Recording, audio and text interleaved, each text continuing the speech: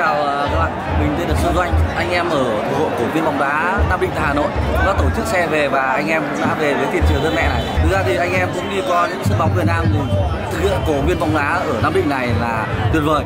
Chúng tôi cũng xin ra tại Nam Định nhưng không dám khen. Thực ra là rất tuyệt vời ở Nam Định.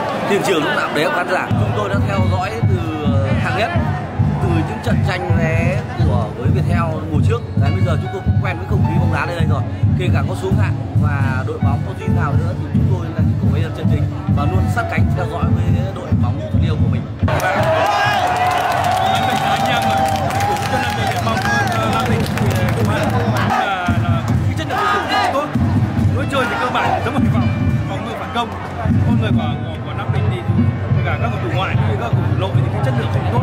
Việt Nam mà mà trong bóng đá thì nó có cái có cái, cái may rủi Nam Định để ý như tôi để ý nhiều trận là là Nam Định không được may. Thì đồng là cái kết quả nó cũng như huấn luyện của ban chỉ nếu Nam Định mà năm nay không được chịu hạng ấy, thì tôi vẫn cổ vũ cho cho cho Nam Định và tôi mong Nam Định sớm quay lại. Cái đấu trường đích cả sân chơi cao nhất đã đá thủy Việt Nam cháu được cố gắng nhưng mà lực bất tòng tâm còn cầu ngoại thì chỉ có mức độ vậy thôi. Tiềm lực kinh tế không có thì đâm giờ là huấn luyện viên cầu thủ vất vả lắm. Người dân thì ủng hộ nhưng mà chỉ có mức độ thôi biết là bây giờ các nhà tài trợ làm sao mà ủng hộ đội bóng, làm sao trung phản? Thì cũng phải chấp nhận, nhưng mà chúng tôi vẫn ủng hộ đội